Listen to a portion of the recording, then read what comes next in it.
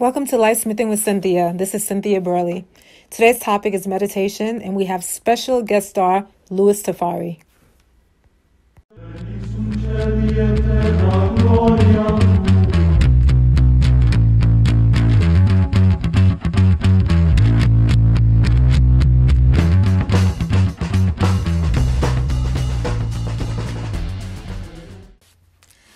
We're back with Louis Tofari, who is the owner of Romanitas Press.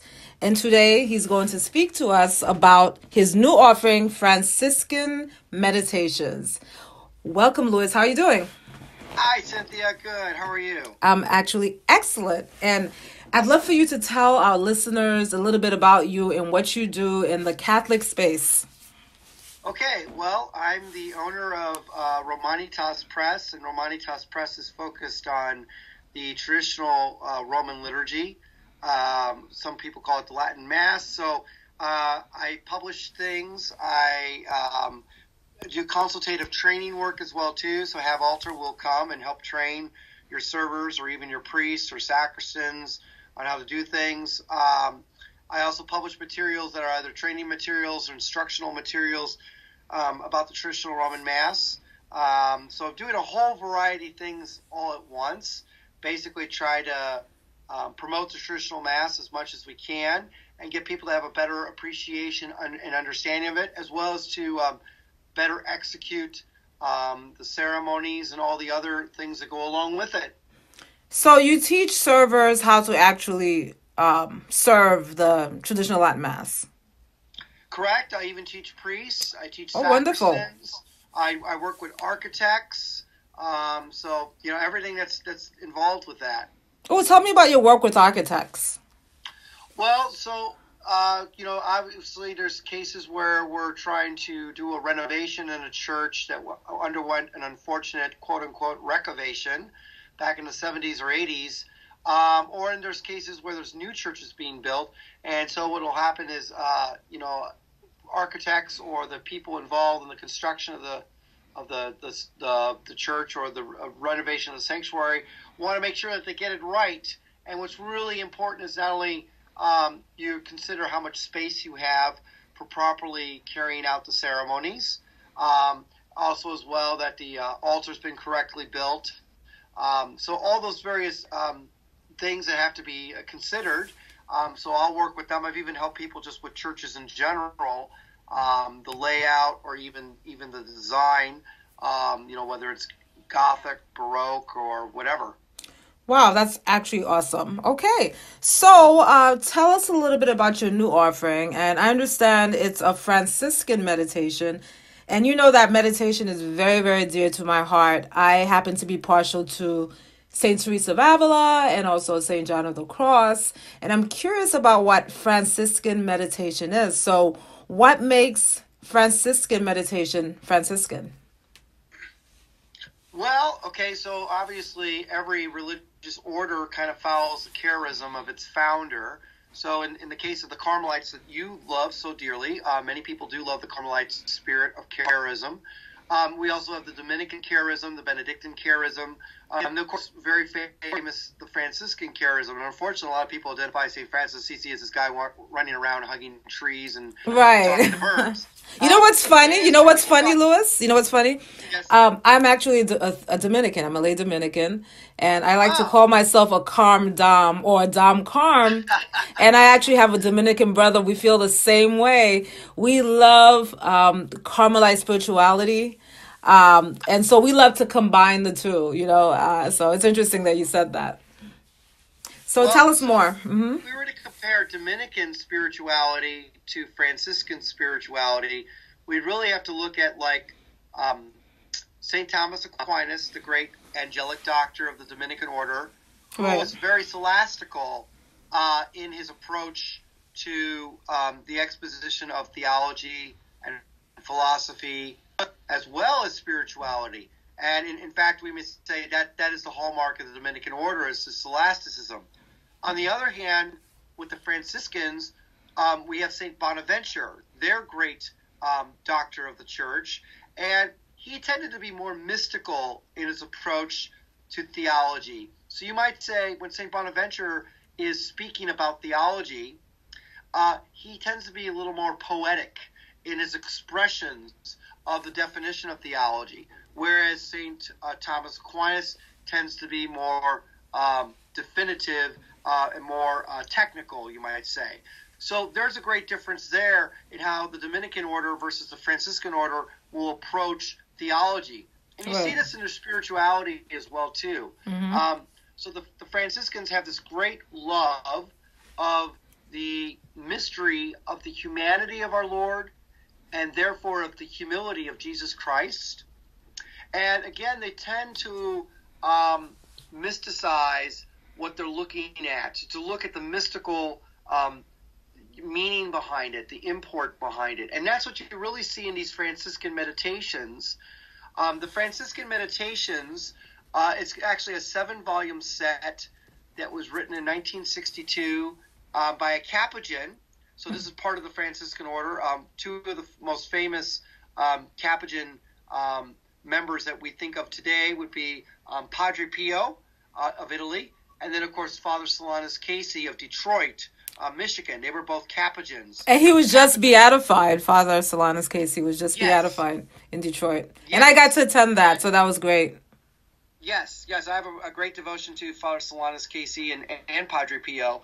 Um, and the Capuchins, uh, they're basically a reform of the Franciscan order, you might say, just like Cistercians and Trappists are also reforms of, of the Benedictine order. Uh, St. Teresa of Avila, St. John of the Cross helped to form uh, reforms of the Carmelite order as well. Right. Um, so it's all interesting that these are different branches of the same order, you might say, or different orders. So Father Bernardin Goebel was a German a Capuchin, and he actually had some earlier editions of his uh, of his seven volume set Franciscan Meditations. This one was published in 1962. It's extremely rare. Um, I could not find a copy of it anywhere uh, when I undertook a recent search on the internet. If you did find it, it's going to cost you in excess of $250. Uh, I happened to find a copy many years ago in a bookstore, and I, I grabbed it because I love St. Francis of Assisi is my patron. I love Franciscan spirituality. Oh wow! But what Franciscan meditations uh, really encapsulate is a is a view of the liturgical year and its meaning through the eyes of Franciscan spirituality. So it's the Franciscans looking at the liturgy from their very particular charism and drawing from it all these wonderful spiritual lessons that we can apply in our daily lives. So, for instance, um, this just a couple days ago we had Passion. What well, a couple days ago? I'm mixing up my weeks. So I apologize. Mm-hmm. A few days ago we had Passion Sunday. So the reading or meditation on Passion Sunday is going to look at the propers of the traditional Roman Mass on Passion Sunday. So looking at the epistle, the gospel, the introit, those kind of things. It's going to look at these things and then it's going to draw from it through the eyes of the Franciscan spirituality what lessons we can apply. And it's a meditation. So it's it's it's something you can read, you think about, you contemplate and you pray about. And in fact, at the end of every meditation, there's a little prayer, and sometimes it's addressed to St. Francis of Assisi, particularly. Maybe sometimes it's addressed to God, um, using St. Francis as a model or an example for how he exemplified this in his own life. All right, this is what the saints do for us. We, the saints, are a great example for us to try to become more Christ-like right. because they accomplished it in their own lives in their very own particular way. I mean, the way St. Dominic did it was very different than the way St. Francis did it, as well as St. Teresa of Avila or St. John of the Cross and etc. Mm. So, again, when you say um, through the eyes of Franciscan spirituality, are you speaking of, uh, you know, the mystery of the hum- humanity of our Lord, or what are you speaking of specifically? Yeah, I mean, so the Franciscans, like I said, you kind of to be able to, it's kind of hard to explain the charisms of each religious order outside of themselves. I mean, you kind of have to. Okay, so if you've ever read uh, An Intimate Life, I'm sure you have. That's Carmelite spirituality, right? Or, sorry, Divine Intimacy. Oh divine yes, I love Divine Intimacy. Yes. divine Intimacy is a classic of Carmelite spirituality. Right. Now, for people who prefer Franciscan spirituality, will find um, the Divine Intimacy book rather dry. They just do. They really dry. I've heard a lot of people say that. I find Carmelite spirituality to be kind of dry. What is wrong with those people? They just because they, the Franciscan spirituality might have a little more um, vivaciousness to it or life to it. Because again, it's just a difference of, of, of approach to. So, for instance, Saint Francis today, unfortunately um, gets identified as being a, a, tree hugger, a hippie, which is a misrepresentation of it. Is true. Saint Francis saw the beauty and perfection of God in nature, in His creatures, and this is the true idea of Saint Francis's love of his natural surroundings, not because he was a tree hugger, but because he saw God behind all this as the creator and then as a result, looking at Christ's humanity, saying, Here is God who deigned, who, was so humble that out of great love for us, he deigned to become man, to take on our um, human humanity, which is, you know, so low compared even to the angels. And in fact, by the way, it's out of this great love of Christ's incarnation that we have in the traditional mass, where not only do we kneel during the credo at the words "et homo factus est," mm-hmm. so he became man, but also during the last gospel, which is the prologue of Saint John, which describes Jesus as the Word of God and becoming man, and that he also was born of flesh. And we genuflect or kneel at these phrases because the Franciscans following their holy founders' uh, spiritual aspirations in this, adapted this devotion when they offered mass, and then later it just became part of the actual mass. You know, I've heard before that, um, you know, throughout the times that the church looked to the religious for guidance in terms of a lot of things like liturgy, and that's just a perfect example of how that Franciscan spirituality entered, you know, the mass. So, so you would say it's important to um, I guess the question I want to ask is this particular meditation, it follows a liturgical year, correct? Yes. So why is yes. that so important? The liturgical year is the church speaking to us through, um, you know, we could say specifically through the seasons. So let's give an example from just a secular or civil year. You know, we have our yearly calendar, January through December, and yet every single month there's something that gets repeated as a message to us through our lives, whether it's someone's birthday, whether it's a holiday, Christmas, Easter, you know, the two big things that the world likes to uh, celebrate, even though they don't even know why they're celebrating them. Mm-hmm. Here in the United States, we have Thanksgiving Day, we have our other national holidays, you know, honoring the President of the United States of America on President's Day, Veterans Day, July 4th, founding of our, our country, supposedly. All these things they're there to remind us of who we are as uh, firstly as catholics but also as americans as well as just human beings. The liturgical year does this as well too because the church yearly gives us these repeated lessons. So for instance um, we have on particular sundays of the year we have well at least in traditional roman rite we have the same lessons every single sunday on that sunday and that's because the church knows our human nature. She knows that we're like little children. We have to be constantly reminded. And so every year she repeats this to us over and over again. In fact, I never find it boring to have, you know, the parable of the Good Samaritan on that particular Sunday every single time. It's just, or the parable of the Good Shepherd because you just look forward to it. Oh yeah, it's going to be this Sunday. It's the parable of this or the parable of that, or it's going to be this epistle or, or that reading or this introit or that gradual uh, tra- or that chant that's sung or whatever. So the liturgical year is there to help us guide us and help us form us spiritually throughout the entire year. And um, the, there's so much to the sacred liturgy. One of my one of my mottos is you can never stop learning about the liturgy. It's this, this giant, uh, unfathomable treasure chest that has no bottom. It's a bottomless treasure chest. You can just keep taking the jewels and gems and pearls and gold coins out of it constantly, and it'll never empty it.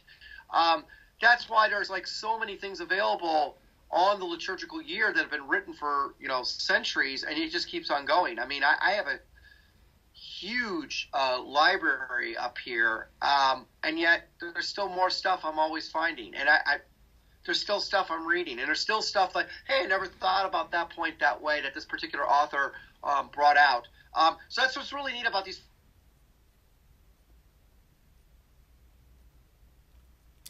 I think that we lost Louis.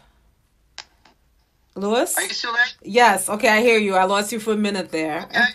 I, I wanted to say that. I wanted to say that as a as a convert, I'm more than ever convinced that Catholicism is bottomless because I, you know, it will take my whole life and actually some questions I'll have to ask. Hopefully, you know, if hopefully if I make it to heaven, I pray I'll have to ask, you know, the Lord Himself because I will never learn every little minute detail of Catholicism. It is so rich.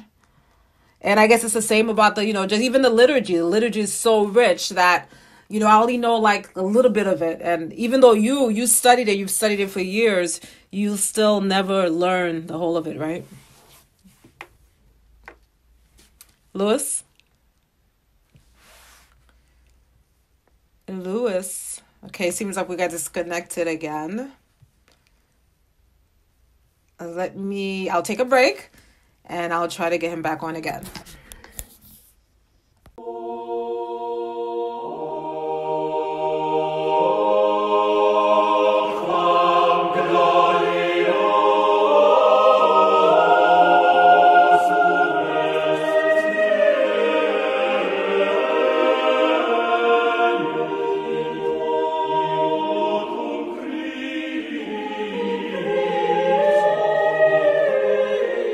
Okay, we're back. We had some technical difficulties, but Louis Tofari is back.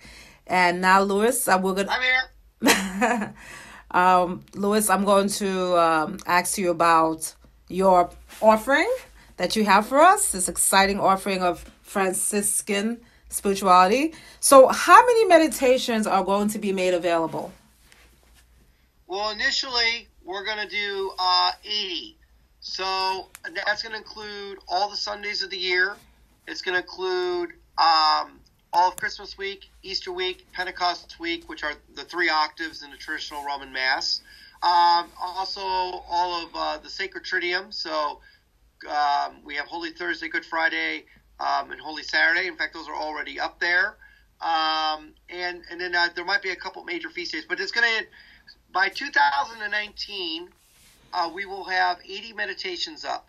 Now, if you go to the website link, which is romanitaspress.com forward slash Franciscan dash meditations, or you can access that by going to romanitaspress.com and then you hover over the store, and then you'll see the drop down box will show Franciscan Meditations MP3s. Um, Right. You'll go on there and you'll see, for instance, like it'll say, uh, as an example, third week of Advent, but it only has Sunday. And that's because eventually we'll be doing Monday, Tuesday, Wednesday, Thursday, Friday, Saturday as well. And by, by, when we're done with all that, we'll have over 200 audio meditations available. Wow. It'll be the entire seven volume set. And um, the great news is each of these meditations is available for only 99 cents. Oh, wonderful. And yeah, just cheap 99 cents. You can download it as an MP3 um, so you can listen to it from your computer, from your phone, from your iPod, whatever listening device you're using that accepts MP3s. Um, you know, so if you're working, you want to hear this in the background. Um, again, you can listen to it whenever you want to. The meditations are quite short. Um, they can be anywhere from six minutes long up to about 16 minutes. Um, so they're not very long. Um, and uh, you got to hear a sample. So what did you think? I think it was awesome. It was very um the person that was actually reading the meditations, um, he was speaking a very um, soothing type of tone, something that you can actually sit back and and listen and meditate on his words. Right. Well, Alex, it's it's Alex Barbas is a, a friend of mine, and uh, he's uh, working very hard on these. And we're also trying to stay three weeks ahead of um, of, of wherever we're at. So today, so for instance, upcoming is Palm Sunday, which we already have up there, of course. Um, but we're already up to Easter Monday. And we're trying to complete the rest of Easter week and then move on. So we're trying to stay well in advance. So if people want to listen to these recordings in advance, they can. And obviously by 2019, um, once they're up, they're up. Um, hmm. I did want to tell a few people just real quick. Um, if you listen to the first few recordings we did, which actually we attempted to have the first set of recordings available by Christmas, it just didn't work out that way. But you'll see that they're up there anyways, um, the Vigil of Christmas, um, and then a few others, and then up to Ash Wednesday. Um, and some of the first ones, a few people said they, they thought uh, there could have been a little more life in how the recordings were read, and we understand that. And um, the more recent ones definitely have uh, we're done with a more vivacious uh, reading style. Mm-hmm. And so, right. um, just so you know, if you listen to one of those earlier ones, um, they're they're a little bit different than the than the more later ones that we have now. We um, definitely uh, want to improve what we're doing. Um, we're very dedicated to this project, um, just because we're just amazed at the content that's available in Franciscan Meditations. Um, and again, it's not readily available anywhere right now. We really want to bring it back um, for Catholics to benefit from. Uh, so that being said, some of those earlier recordings will probably eventually go back and re-record. And if anyone's listening, if you've already purchased one of those in the past, um, as long as we, uh, you know, you can show me a receipt or something, and we'll just give you the the newer ones for free. So there's oh, that's no problem great. there. That's great. Wow, so that's wonderful. It's a wonderful work that you're doing. I'm excited to listen to some of them myself because I, you know, I'm really into meditation, and I want um, the listeners to know that I will link to it um, in the show notes. So Great. once I um, publish the podcast, there will be show notes, and I will link to it so that you guys can have access to this wonderful material for only 99 cents each. So, Louis, thank you so much for being You're on welcome, our podcast. It has been it has been a pleasure, and we hope to have you again very soon. All right, great. Have a wonderful day, and God bless. You too, and to your listeners. God bless you all. bye